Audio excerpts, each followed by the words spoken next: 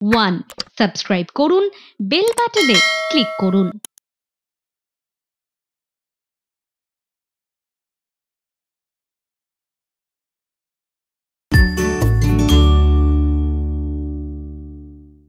নমস্কার।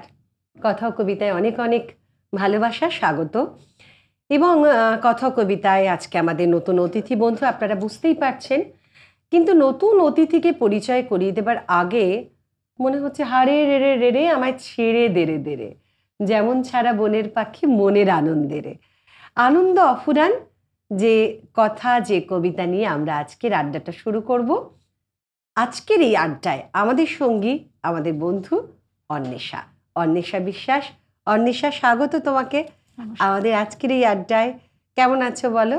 ভীষণ ভালো লাগছে। আজকে আমি আমি কখনো ভাবতেই পারিনি যে এরকম একটা অনুষ্ঠানে কখনো আসতে পারব। মানে এটা আমি দেখতাম আগে মানে কতবার যে দেখেছি মানে এই অনুষ্ঠানটা আমার ভীষণ প্রিয় একটা অনুষ্ঠান। আর সেই অনুষ্ঠানে আসতে পারা, এটা সত্যি সৌভাগ্য। আর এখানে তো প্রচুর প্রচুর ভালো মানুষ এসে বসেছেন। কত গুণী মানুষের মানে পদধূলিতে সমৃদ্ধ এই মঞ্চ। মানে সেই জায়গায় আমি এসে মানে আসছি, এটা আমার কাছে অনেক বড় প্রাপ্তি।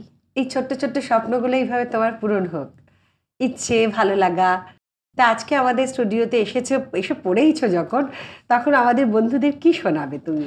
আমার প্রচণ্ড আনন্দ হচ্ছে তাই আমি একটি আনন্দের কবিতা মানে শোনাবো। আর রবীন্দ্রনাথ ছাড়া তো মানে ভাবতে পারি না। শুরুটা মানে রবীন্দ্রনাথকে দিয়ে একদম তাই যিনি আলো করে দেন সবটুকু জুড়ে। নামটার মধ্যে একটা আলো আলো একটা অন্য অনুভূতি অনুভব। আছে। শোনা নির্ঝরের স্বপ্নভঙ্গ। আজিয়ে প্রভাতে রবির কর কেমনে পশিল প্রাণীরে পর? কেমনে পশিল গুহার আধারে প্রভাত পাখিরে গান? না জানি কেন রে এতদিন পরে জাগিয়া উঠিল প্রাণ। জাগিয়া উঠেছে প্রাণ। ওরে, উথলি উঠেছে বাড়ি। ওরে প্রাণের বাসনা, প্রাণের আবেগ রুধিয়া রাখিতে নারী। থর থর করি কাঁপিছে ভূধর। শিলা রাশি রাশি পড়িছে খসে।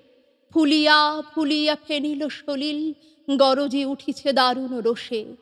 হেথায়, হোথায় পাগলের প্রায়, ঘুরিয়া ঘুরিয়া মাতিয়া বেড়ায়। বাহিরিতে চায়, দেখিতে না পায় কোথায় কারার দ্বার। কেন রে বিধাতা পাষাণে হেন? চারিদিকে তার বাঁধন কেন? ভাঙরে হৃদয়, ভাঙরে বাঁধন, সাধরে আধিকে প্রাণীর সাধন। লহরীর পরে লহরী তুলিয়া, আঘাতের পরে আঘাত কর। মাতিয়া যখন উঠেছে পরাণ, কিসের আধার, কিসের পাষাণ? উথলি যখন উঠেছে বাসনা, জগতে তখন কিসের ডর? আমি ঢালিব করুণা ধারা আমি ভাঙিব পাষাণ কারা? আমি জগত প্লাবিয়া, বেড়াবো গাহিয়া, আকুল পাগল পারা। কেশ এলাইয়া, ফুল কুড়াইয়া, রামধনু আঁকা, পাখা উড়াইয়া। রবির কিরণে হাসি ছড়াইয়া দিবরে পরানো ঢালি। শিখর হইতে শিখরে ছুটিব, ভূধর হইতে ভূধরে লুটিব। হেসে খল খল, গে কল কল, তালে তালে দিব তালি।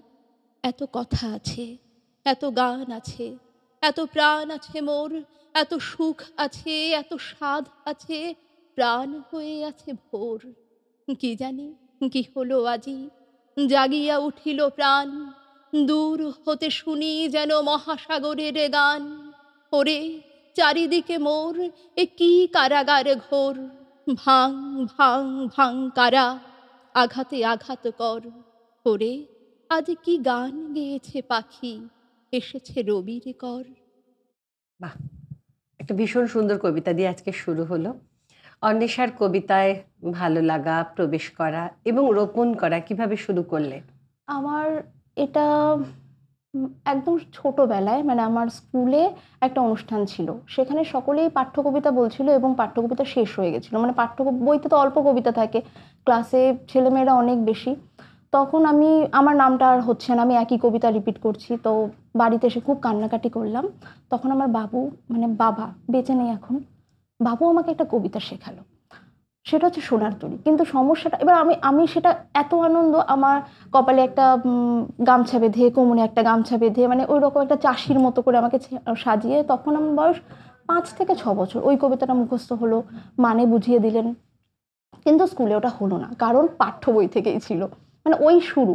আর বাড়িতে একটা কবিতার আবহাওয়া ছিল। মানে মা শুধু সুকান্তর কবিতা বলবে, আর বাবা নজরুল আর হচ্ছে রবীন্দ্রনাথ। আর এটা হতো। আর দুজনের মধ্যে যদি কখনো অভিমান হতো, কবিতা দিয়েই মান ভাঙানো। মানে একটা ঘটনা বলি, একটা ঘটনা হচ্ছে মা খুব রাগ করেছে বাবু থামানোর চেষ্টা করছেন। তো তখন বলছেন যে, ওগো অমন যেও না হৃদয়ে দলি, ধরা নাহি দিলে ধরিব দুপায়। কি করিতে হবে বলো সে উপায়? ঘর ভরি দেব সোনায়ের উপায় বুদ্ধি যোগাও তুমি।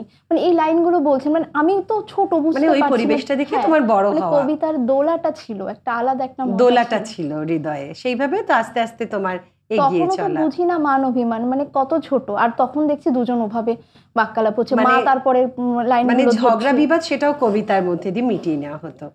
আচ্ছা এবারে তোমার কাছে কি শুনব বলো? যেহেতু প্রথমে রবীন্দ্রনাথ তাই ভাবছি রবীন্দ্রনাথের শ্রদ্ধাঞ্জলি জানিয়ে তাকে তার প্রতি দীনেশ দাসের প্রণমিটা যদি শোনা। কবি দীনেশ দাসের প্রণমী। দেখেছি তোমার নামে সবার প্রথমে শ্রাবণে ধানের শীষে দুধটুকু জমে।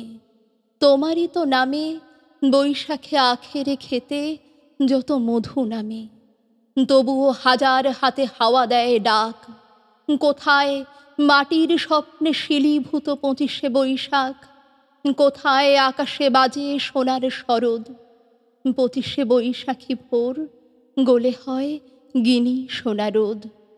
তুমি তো বনস্পতি, তোমার পায়েতে থরে থরে অজস্র শব্দের রং কৃষ্ণচূড়ার মতো ঝরে। তুমি এক অবাক মৌচাক কথাগুলো চারিদিকে ঘোরে যেন গুনগুন সুর এক ঝাঁক। তোমার ছন্দের নদী জমা হতো যদি, পৃথিবীতে হতো মহাসমুদ্র বলয়। ঝুরঝুরে গানের মাটি জমে জমে হতো আর এক নতুন হিমালয়। আকাশে, বরুণে দূর স্ফটিকে ফেনায়, ছড়ানো তোমার প্রিয় নাম। তোমার পায়ের পাতা সবখানে পাতা, কোনখানে রাখব প্রণাম? শেষটা বড্ড সুন্দর, বড্ড ছুঁয়ে থাকল মনে। কেমন লাগছে অবশ্যই জানান। আপাতত সময় হয়েছে। নিয়ে নিয়ে একটা ছোট্ট বিরতি। সঙ্গে থাকুন।